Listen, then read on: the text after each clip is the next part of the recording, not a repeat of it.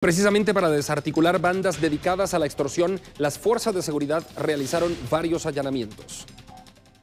Varios allanamientos realizados esta mañana por las fuerzas de seguridad en busca de personas relacionadas al delito de extorsión dieron como resultado la aprehensión de varios señalados de intimidar a pilotos y comerciantes. Queremos informar que Policía Nacional Civil desde esta mañana, aproximadamente a las 4 de la mañana, organiza varios equipos de la división PANDA, que es el Programa Nacional contra el Desarrollo Criminal de las Pandillas, en coordinación con fiscales del Ministerio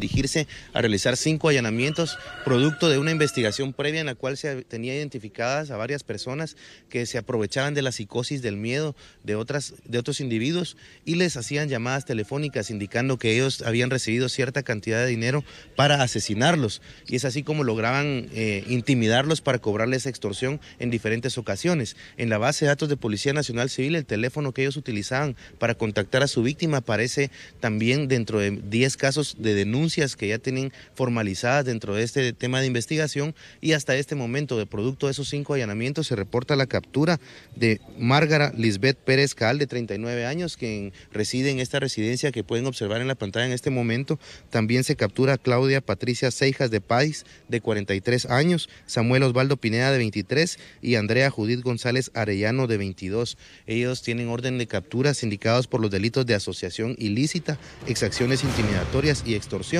según las investigaciones, en torno a las llamadas realizadas para intimidar a sus víctimas, se logró rastrear un número telefónico que derivó como resultado los allanamientos de este día. Hay un contacto de una de las mujeres que está siendo detenida. Ella es conviviente de un individuo que está eh, retenido o está detenido cumpliendo una condena por el delito de asesinato. Ellos no son de ninguna pandilla, sino que se aprovechan de la psicosis del miedo generado por las pandillas y las extorsiones en la calle y aprovechan esa coyuntura para llamar a su víctima y decirles que ellos pues han sido contratados para asesinarlos. De esta manera ellos logran intimidar a las personas y poder cobrar esa extorsión en la cual ellos se benefician. Sin embargo, podemos decirle a la ciudadanía en general que denuncia al teléfono 1561 del programa Cuéntaselo a Valdemar, lo pueden hacer de forma anónima, en donde no es necesario dar sus datos para que Policía Nacional Civil tenga los insumos de la denuncia para poder iniciar las investigaciones que dan los resultados que se están demostrando este día. Según la Policía Nacional Civil, se determinó que los capturados realizaban un análisis de sus potenciales víctimas y les exigían sumas que iban desde los 5 a los 25 mil quetzales.